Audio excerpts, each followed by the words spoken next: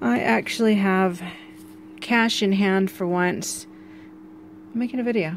So, um, I thought I would make a quick video about the New Zealand money so you guys can see what it looks like. Because I never, you don't really deal in cash here. Everything's EFTPOS, which is electronic transfer.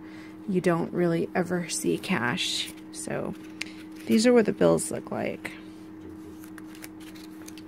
They are all different sizes. I don't remember what American money looks like. It's been like 10 years since I've been there. They're all different colors. And they are made of plastic. They're a bit crumply, but they have this cute little see-through window there on all of them. So this is the $5 note right here.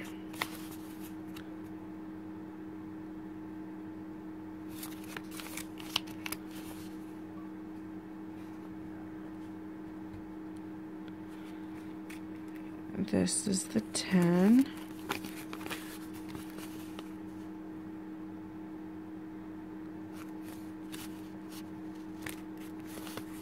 It's very hard to crumple this money up because it's actually made of plastic.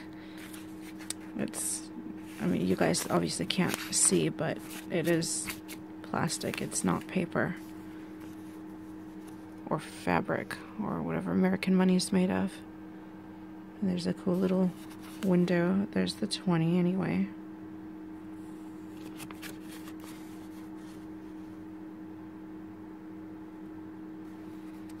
And here's the 50. We have cash because we sold stuff. And then Logan worked extra today. He worked an extra four hours for this money. And here is a 10 cent piece. Let's see if it'll focus. It probably won't. I'm missing a dollar piece, so I can't show you that, but I have most of the other ones.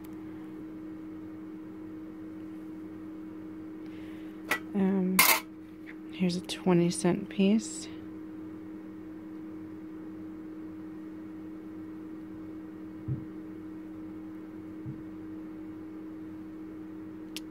Well, whatever. So that's a 20 cent piece. Um, here's a 50 cent piece.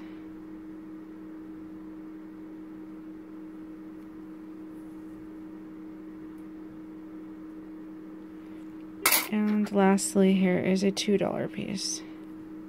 The $1 piece looks very similar to this, but is slightly smaller and is single-edged. This is, being a $2 piece, has like a double edge to it. I don't know if you can see that because the camera is not focusing, but there's a double edge.